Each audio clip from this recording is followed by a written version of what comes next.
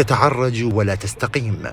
وإن استقامت عثرت عمدا لتبقى تحت مسمى أزمة. هذا حال الكهرباء. استنزفت أموالا تقارب التسعين مليار دولار ولم يستقر حالها إلا مؤخرا.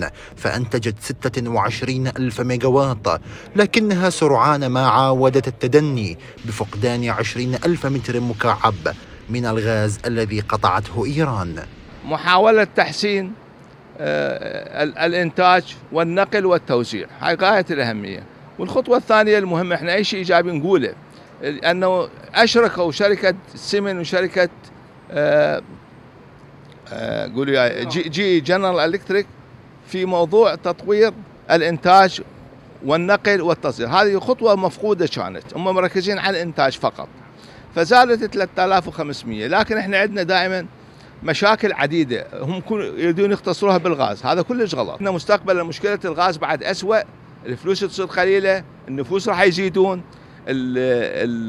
الكهرباء راح تقل المولدات راح تتلف. وإحنا ما عندنا فلوس. مستقبل أظلم اسوء من الحاضر. 25 مليار دولار خصصت لقطاع الكهرباء في الموازنة الحالية.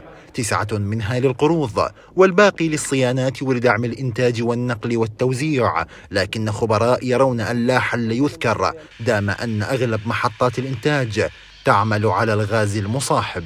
رغم إنه هذه المبالغ اللي خصصت مبالغ جدا عالية الجانب الثاني بصرف الفلوس المبالغ هي الغاز اللي يكلف أكثر من 6 مليار دولار سنويا من غير الوقود المحلي من غير التشغيل من غير العقود الداخلية الداخلية بالميزانية. يعني المبالغ اللي حتنصرف أو المخصصة بميزانية 2023 هي تفوق ال 25 مليار دولار. رغم كل هذه نشوف إنه التخصيصات المالية بها مشاكل كبيرة. من أبرز المشاكل اللي موجودة بهذه الميزانية إنه آه، مثلا مخصصين 900 مليون دولار آه، ما يقارب يقارب الواحد مليار دولار لصيانة المحطات الغازية.